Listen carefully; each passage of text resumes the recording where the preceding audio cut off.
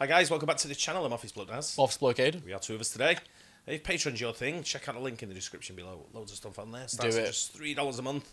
Uh, helps support the channel, and there's something pretty much every day. Full watch-alongs to many shows, sitcoms. Got sports tier on there. There's loads of stuff on there, so check it out if it's for you. Subscribe to the YouTube channel as well, mate. yeah, Sound- absolutely. Whilst you're there. Mm. The Bunker Buster Bomb.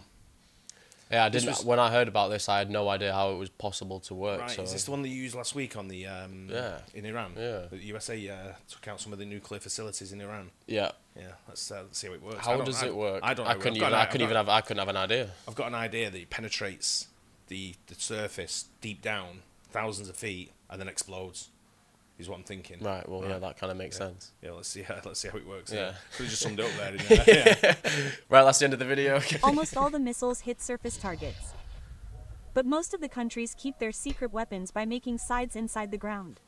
And in this condition, assume that if your target is 50 to 60 meters below the ground, then the missiles cannot do anything there. Because when the missile hits its target, there is an impact sensor in front of it, which gets activated as soon as it touches the target. After this, this impact sensor activates the detonator attached to the missile and the detonator causes a tremendous explosion in whatever warhead is there in the missile. So then there is a need for such a bomb which first goes deep into the ground and then blasts and this is what is being seen recently in the war between Israel and Iran. Iran has built some nuclear sites underground and Israel wants to destroy those sites. So, to destroy these underground sites, different types of bombs are made, which are called bunker buster bombs. They're working I'm not sure it was just Israel that wanted to, to destroy these sites. I think pretty much mo- most of the world wanted to sort of like see these sites go. Yeah, You know, with the Iran with nuclear Iran's weapons and all yeah. that. Yeah, with nuclear weapons. Yeah. Because only end in one way. Yeah. and the way of launching them is completely different from a missile. These underground sites are called bunkers. So to destroy these bunkers, bunker buster bombs were designed which operate according to different depths. Here you can see multiple types of bunker buster bombs. But the most important here is GBU-57 which is an American bomb and it can destroy a bunker up to a depth of 60 meters. And if seen, this is the most powerful bunker buster bomb in the world today. Let's try to understand its engineering in a little detail. If seen, especially America has powerful bunker buster bombs and all three of these are from America. Bunkers are specially made of reinforcement concrete under the ground which is very strong. So these bombs are designed to break this reinforcement concrete which will become clear to you later. First of all, let's talk about BLU-109. This is a bomb made in 1970. This bomb Wow. weighs about 900 kilograms and is capable of destroying a building of one floor up to a depth of 2 to 3 meters. After this comes GBU-28 and currently Israel is using this bomb to destroy Iran's bunkers which can go into the ground up to a depth of about 6 meters which can destroy a building of up to 2 floors. Isn't that just like a normal bomb? Its total weight is 2,300 kilograms. Wouldn't Say a that. normal bomb go about that far down if it, when I it lands? number one, they normally, they normally, like she was saying before, the, the, uh, the voice was saying before, that you can normally target a surface um, area. So what you're doing, you, you a, a structure that's there, you're kind of blowing up the structure that's there, that's built above Yeah. ground.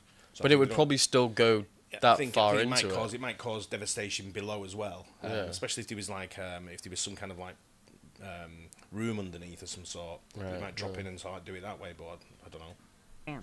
If its size is compared to a human being, then you can see it. Oh, Its total length is 19 feet and its diameter is 13.5 inches and its warhead is kept in its center which is around 300 kilograms which contains 80% TNT and 20% aluminum powder. Actually, all the bunker buster bombs are dropped from a height. So, their weight itself gives them speed with the help of gravity. So, when the bomb falls from above, there is a laser sensor on its front side which locks the target with the help of laser. There are also adjustable fishes here which keep guiding the bomb. But let us try to understand the working of this bunker buster bomb with the help of the world's most powerful bomb, whose name is GBU-57 which can go deep inside by breaking a What? concrete structure of about 60 meters in the ground. Which is equal to a 20-floor building and almost up to this depth the bunker can Oh, be shit. destroyed. If we look at the length of the bomb, then its total length is 20.5 feet and its diameter is 31.5 inches. If we compare it with the size of a normal human being, then it is hmm. this big Looks like a rocket. And the most Doesn't it? interesting thing is that its total weight is 14,000 kilogram. That is, its total weight is 14 tons. And it was made so huge because thrusters are not used inside this bomb like a missile. The missile keeps itself stable with the help of its thruster and hits the target with proper accuracy. But inside this bomb, its weight and its size keep it stable. Now the question comes how is this bomb launched? Because it cannot go anywhere on its own like a missile. To launch this bomb, a powerful aircraft is required, which again America has, whose name is B-2 Spirit Stealth Bomber. This Beast aircraft America. flies at a very high altitude and flies at high speed due to which it easily escapes the radar. Now this is also a very good engineering in itself, which we will understand in detail in another video. When Just the aircraft scary. reaches its targeted location, it freely drops the bomb from here in the air. Just now we saw above that GBU-57 is a heavy bomb weighing 14 tons, so the B-2 Spirit bomber can carry only two GBU-57 together. When this bomb is dropped from such a height, now there is a need to hit the bomb near its target with complete accuracy and for this, GPS and inertial navigation system are installed on the back of the bomb which guide it. It has batteries to store data and as a network antenna, it also has an adapting ring to establish the connection. But most importantly, thrusters are not used inside this bomb. So, this GPS and IAS feed their data to the motor controlled fins at the back, and these fins can be adjusted in such a way that they perfectly direct the bomb towards its target. What? I know. If you have seen, the same fins are used inside SpaceX's reusable rocket, the working oh. of which you can understand in detail from this video. Now this bomb is falling downwards freely in the air and it has a weight of 14 tons, so due to gravity it absorbs tremendous kinetic energy and its speed reaches the speed of Mach 1. When such a heavy thing comes from the sky at such a high speed and hits the ground, then it is a simple matter that if its body is not strong then breaking the bunker is a far-fetched idea. It will blast as soon as it touches the surface. Then the body of GBU-57 is also made of very strong hardened ferro-cobalt alloy. Interestingly, 80% of the weight of this bomb is its body itself. The remaining 20% contains explosives and its equipment. Its warhead is kept inside the center of its body which weighs about 2,270 kilograms. So the primary work of its body is to keep all the fuse controllers and warheads inside it safe until it reaches its target. First of all, when the nose of the bomb strikes the bunker from the front side, then there is an inertial impact sensor on its front side which senses the impact and generates the first trigger signal and tells that the impact has happened but the explosion is not to be done yet. From here the signal goes to the microcontroller and digital delay fuse which starts the timer as soon as the impact occurs. Along with this, it also analyzes the impact force and depth. But sometimes, after the impact, it only activates the timer. For example, the explosion is to be done after 150 milliseconds after the impact. So as soon as the timer is completed, this signal reaches the detonator unit and it is activated and this unit generates shock pulse with high voltage and current. Due to which the large explosive content kept inside the bomb catches fire.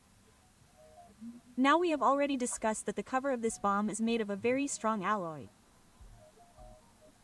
So the warhead inside it creates tremendous high pressure and temperature and after a limit, this strong metal breaks due to which a big explosion occurs. But when the explosion occurs, this bomb does not catch fire, rather its explosion generates a shock wave, which is basically a pressure wave. So, tremendous pressure is generated inside, due to which cracks start appearing in the structure of the bunker and this shock wave is so strong that it also causes earthquakes. Now you think that if we install thrusters inside this bomb and power is given by the thrusters, then can this bomb go to a greater depth? So the answer is no. Because when thrusters are installed on the bomb, its speed will reach the speed of Mach III or Mach IV. So we have to make its body more strong so that when the bomb strikes the ground at the speed of Mach III or Mach IV, it can bear such tremendous pressure. Otherwise the bomb will blast as soon as it hits the surface and as we keep increasing its strength, its costing will increase. This is why thrusters are not used in it. If you are interested in learning such animation, then the details are in the description. Do- You were right. You were kind of right. Yeah, kind of. But I just what the bit that baffled me there is I don't know. I don't get how it can go to a depth just by gravity taking it down. You know I Because mean? because of what it's made what out it's of. made out of. Yeah. yeah. So why don't they make the bunkers out of that same shit? They just go dink, right? Wouldn't it? Yeah, I mean, I guess so. But Yeah. like maybe I don't get- do they know how like does does Iran know that they've got them? Yeah, like, well, they like- was used. I think I think they were used in uh, Afghanistan as well, wasn't they? 'Cause, Was they? um, I think I think some of the Taliban were fighting out of caves and stuff like that, and you know, like in the mountains. Yeah. And I think some of the some of their um, stock and stuff like that, but you know, their war Yeah, ammunition yeah. sort of, like stored there. So I think they used the bunker busters in Afghanistan as Oh. well. Might be wrong. The craziest but- thing about that though is the fact that it doesn't lock on like a missile. It just like the flaps Yeah, just navigate it down. Through GPS. that so, could easily yeah. that could easily miss its target. It could do. Um, the chances are it's probably a very sophisticated Yeah, GPS yeah. system that'll get it bang onto its target. But I just Probably. for me, it just I don't get it's, it's just not, not not not computing with me at the moment. How it can go so far through many layers of concrete or whatever it is, and all it's strength and structure. Just keep going through layers without any kind of propulsion, just pure gravity dropping it down. Do you know what I mean? Because imagine if you get if you get the thrusters on it, like she said, and it can go through Mach, you know, up to Mach three, Mach four, then that's going to go way further down because that'd be thrusting it down, that'd be pushing it, won't it? Yeah. But he uh, said, I'm just, I guess, from a great height, that speed it's picking up, and that what's it, it's, it's picking up some serious speed, and I guess the shape of it and everything, like you said, what what it's made, made out out of. yeah. If it's made out of stronger material, then like it was- But it's interesting to see how they do it because, then especially the the advancement in it as well. For it's gone from what was it, 1.6 meters to six meters, Yeah, to to 60, meters. Yeah, It's so I think I think they're probably working on with these bunker buster bombs now because everyone's burying the, the stuff deep underground. You know, um, some of these bunker buster bombs will probably Why don't they just go like 200 meters down? yeah, it's, uh, what to, well, to build. You mean? Yeah. yeah. Well, that's probably what the people are doing, aren't Yeah. they? You know, you look at. I watched a video once where they, I think it was um, was it in a, in a mountain somewhere? It was like a massive shaft down with where computers were stored. It was in Switzerland. It's I can't remember. It was uh, it's like mountains where shafts are built in China and stuff like that. Yeah. Yeah, where se- serious data's kept, sort of thing. It's now people are working down these shafts, but it's like 200 meters in the, inside the mountain and stuff like Not that. as not that thing. What's that island in Norway called where they have loads of like locked away thing like Sval- what's the what's the island called Svalbard or something like yeah, that? Yeah, something like that. Svalbard. Sval- Svalbard, something, yeah, yeah. something like that. And they have like a thing with loads of test tubes in it in case life goes extinct. Mm, oh, really? Something like that, yeah. See if we can find a video on it. Mm. Interesting, no? Voice was, a li- voice was a little bit questionable. But, Yeah, I know, right? Yeah. But uh, yeah, and, you know, interesting stuff. And hopefully, he's never doesn't have to be used that often. Um, anyway, enjoyed it. Hope you guys did as well. Don't forget to like and subscribe. and see you on the next one. Cheers. Cheers.